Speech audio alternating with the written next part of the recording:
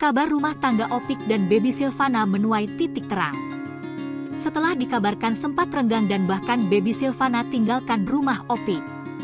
Kini keduanya kembali romantis, nampak Baby Silvana menemani sang suami saat berada di atas panggung. Momen mereka berdua ini sontak membuat penonton bersorak senang.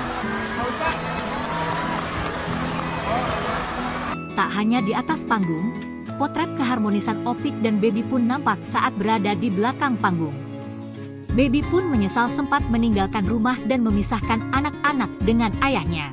lihat Hasan Hussein ketika dipeluk sama ayahnya terus kok aku memisahkan mereka ya kebahagiaan anak-anakku ya kok anak-anakku kayak gini kok aku tega sama mereka gitu loh aku berjuang gitu untuk anak-anak tuh bukan berarti oh pisah itu malah bukan berjuang aku menyadari hal itu kalau kamu berjuang kamu stay di di tempat yang sebaik-baiknya gitu ada suami ada istri ada anak